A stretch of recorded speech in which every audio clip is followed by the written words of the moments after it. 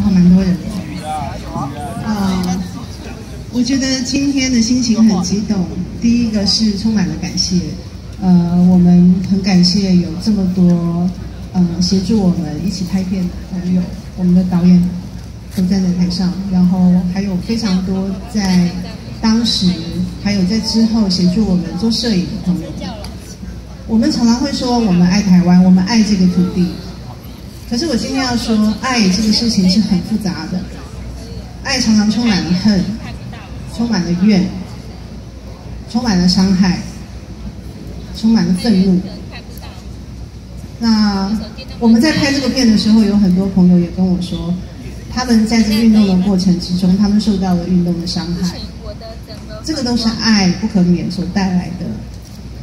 那拍完这个片以后，其实对对我来说很大的一个反省就是，啊，我们可能在这个过程里面看到的，不是只有大家的认同。我们更多的是要看到我们彼此之间的差异。我们会看到那些在这个运动过程里面跟我们的看法不一致的更边缘的声音。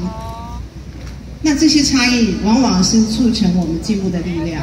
就好像邱玉斌老师在片子里面讲，冲突才是社会的常态，冲突才会造成这个社会的进步和推动。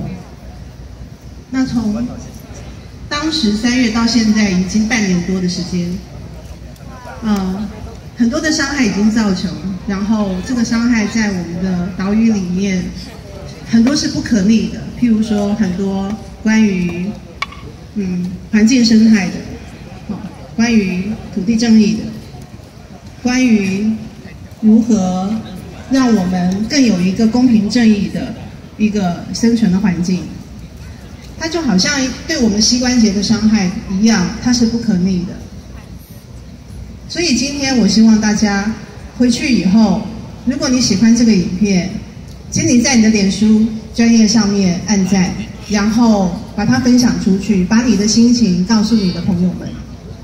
然后我想问在场的朋友，借用《岛屿天光》一首歌的一句话：我们有没有变成一个更勇敢的人？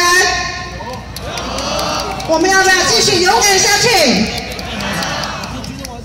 让我们用这种勇敢的心情，继续面对未来可能会对人民、对这个不公平、不公义的环境造成更多的压力的这个环境，我们要继续走下去。谢谢大家。